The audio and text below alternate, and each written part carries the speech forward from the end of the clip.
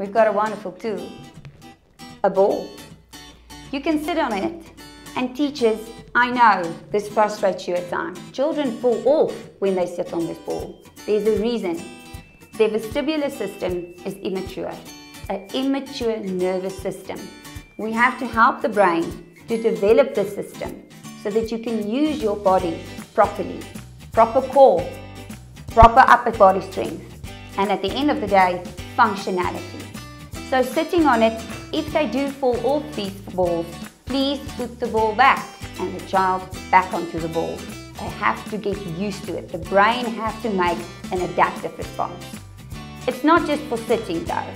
So we can use this ball in different ways. We put it on the floor, so using this ball in different ways is very important. Teacher, if the child cannot sit on the chair, mommy, if your child cannot do homework sitting on the chair, put them on the knees, on the floor. You see what my body is doing? My body is doing adjustments it's sending the message to the brain how to mature that nervous system to be able to use my core, my upper body strength, and actually doing my homework. If you go down with your bum, it's fine. But this ball is giving all the information the brain needs to be able to use your body optimally. I would like you then to let them do their homework like this, read like this, enjoy life like this, even maybe watch an iPad like this. This is a wonderful position. So if I then write my name, make sure they don't do this. Keep your pages straight and there we go. We have a wonderful writing experience.